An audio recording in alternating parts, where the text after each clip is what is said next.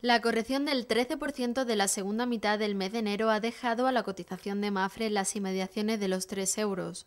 En estos niveles presenta un importante nivel de soporte por lo que es fundamental que volvamos a ver la entrada de las compras.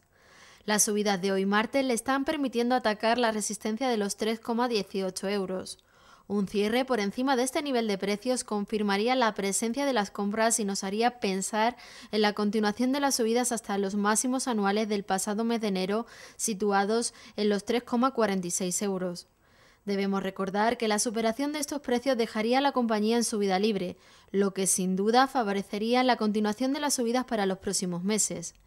Es muy importante que no abandone el soporte de los 3 euros, aunque el nivel clave lo podríamos situar en los 2,80 euros, precios en los que se encuentra la media de 200 sesiones.